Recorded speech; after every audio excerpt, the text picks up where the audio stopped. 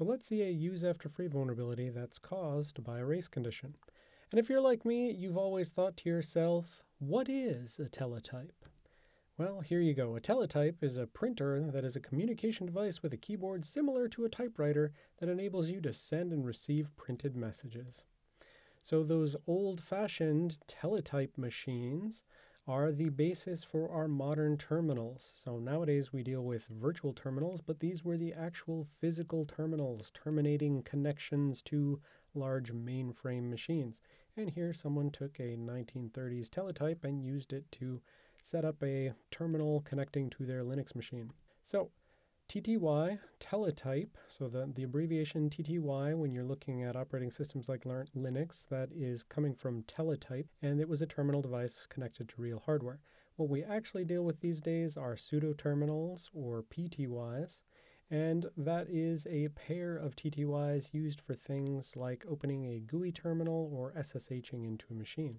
So basic TTY on a Linux system is usually exclusively an input or an output device. So you could have the device exposed in slash dev slash TTY14, and that could be like a MIDI keyboard. Or TTY22 could be a monitor out. But what we care about is that there is a structure behind the scenes that we're going to be intimately involved in in this particular section, which has some interesting properties to it. Now, for those pseudo terminals, which is what you are actually normally using, like I said, that's a pair of TTYs, one for each side of input and output. And Linux refers to them as the master and the slave. So the master writes information to the slave. So for instance, this literal typing in TTY, that is going over to the slave. And then the output from that command can be read by the master back from the slave.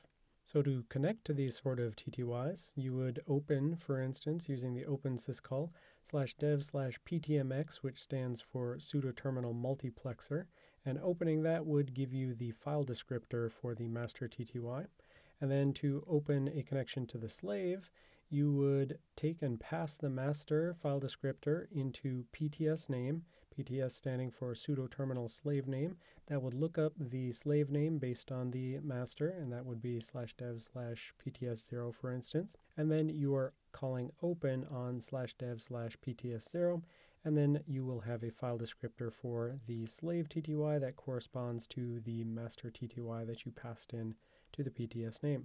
Okay, so we said that each of these TTYs is represented by a TTY struct, and those are going to be interesting to us. So when you're specifically dealing with a master-slave relationship pseudo-terminal, there will be a linked list linkage here from the master to the slave and from the slave back to the master.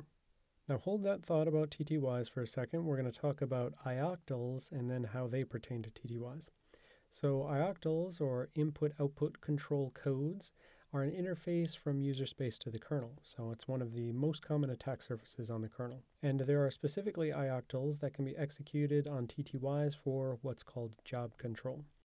That has to do with the notion that processes in the operating system can be grouped into a process group. So this process group has five processes underneath it, and this process group has two. And the idea of process groups is that they can be used to send a signal to the group, and then you'll make sure that it gets sent to all of the subprocesses. So if a SIGINT or a control C comes into this process group, then it'll make sure that it gets distributed to process 6 and process 7. Additionally, and this is what we're going to care about for this type of vulnerability, for those ioctls, there's one of them to move processes between groups. So you can, for instance, say set process 5 to be in process group 2. And then boom, it gets moved over there. And now whatever gets sent to process group 2 will be sent to process 5. So back to the TTY struct. The field in TTY struct PGRP process group is a struct PID type. So it is a pointer to a struct PID type. So that is going to point at a struct PID, and each of these is going to point at the same PID. There is then a TTY struct control lock that enforces mutual exclusion on process group PID access. So mutual exclusion, this is one of our words of power. So And then within the PID structure, there is a count field, which is the reference count, which is another one of our words of power. It's the reference count for this PID structure. It's trying to basically say how many things are currently holding a reference to this particular structure. And right here, we can see that there's two of them. Two of them each have this process group pointing at the PID, right? It is a struct PID pointer and it points at this PID and they use their locks in order to enforce mutual exclusion.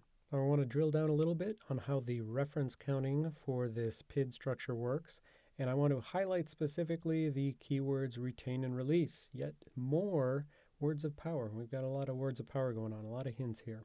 So there's a general notion in object-oriented programming or in situations where you have automatically garbage collected things that a retain will increment a count of how many references there are to a thing, and release will decrement that count and release something from being treated as referring to something else.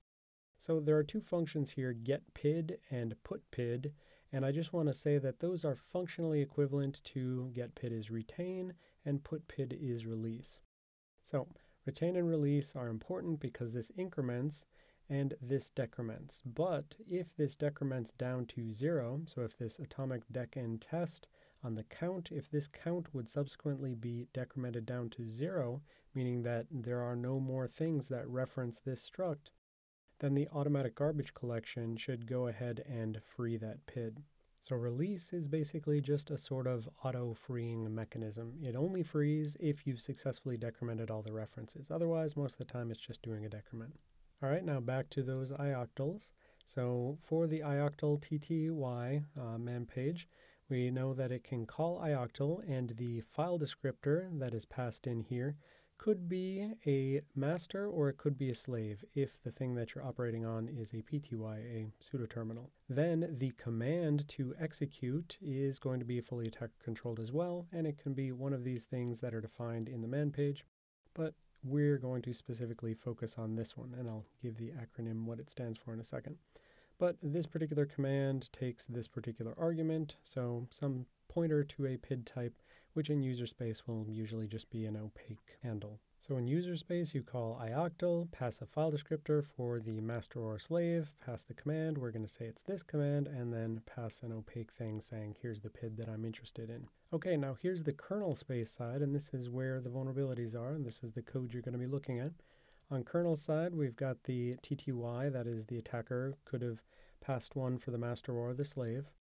And then we've got all of these cases for all of these different commands, right? So we said command was, again, one of those attacker controlled things. And so, for instance, this command is tty io control set controlling tty, tty io control get process group, tty io control set process group, and tty io control get session ID. So those are what those abbreviations stand for, but this is the one that we're specifically going to care about.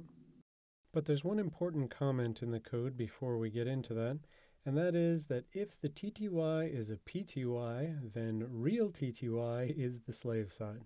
So basically we said this TTY can be either the master or the slave, but if it is a PTY, so if it was some master or slave type organized pair of TTYs, then before we even get to this point, the real TTY is guaranteed to be the slave side. So this can either be slave and slave or it can be master and slave. Cool, so now we are finally ready to try to find the flaw. So based on the particular command, we get into this TTY IO control set process group. That's why I told you about things like process groups and how a particular process could be moved between groups. This is the kernel side code that would do that sort of thing. But now looking at this code, understanding that putPid is effectively a release and getPid is effectively a retain, take a look at this code and see if you can find the flaw with respect to use after free vulnerabilities. And one last hint, and that is that Linux ioctls, we said they serve as an interface between user space and kernel, but there can potentially be many CPUs interacting with the kernel interface in parallel. All right, go take a look at the code, go check out the full code, and look around and find the flaw.